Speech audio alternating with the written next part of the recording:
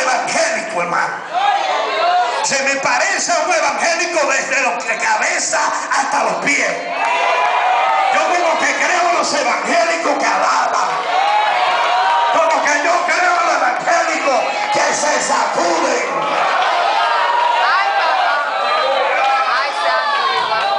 Dios. Nueve. Pareciese que el maestro pudiese estar diciendo el mismo milagro, la misma sanidad que añoraban. Pero no quisieron volver a darle gracias al dueño del milagro. Prefieren irse por ahí como Juan por su casa. Ahora te voy a decir una cosa.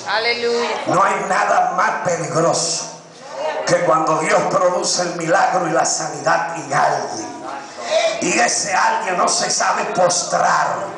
Y la primera sanidad es la salvación. Hay gente que busca sanidad física, pero la sanidad más importante es la sanidad del alma.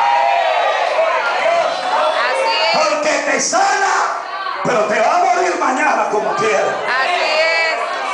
Pero si te sana del alma, Aleluya. si te sana del espíritu, alaba aquí, glorifica aquí, llega la muerte y sigue glorificando allá, y sigue tributando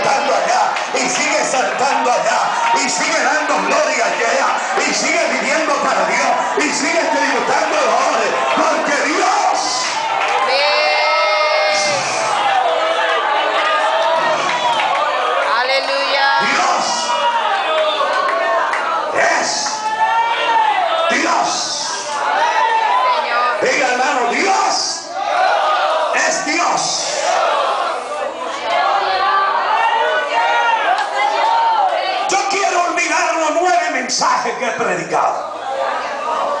Si usted quiere, olvídese de ellos.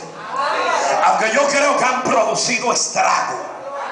Están produciendo reactivamiento. Y quédese ahora en el décimo. Quédese con este de hoy. Y hasta puche si, si no es hombre o si, o si es mujer, si es del mismo sexo. Tópelo al que le queda a tu lado y dile, recobra vida. Se va tu lepra. Se va tu enfermedad. Levántate en victoria. Alaba si puede. Yo soy de la gente que no ataco religión. Santo. Aleluya. Porque yo no tengo que atacar religión.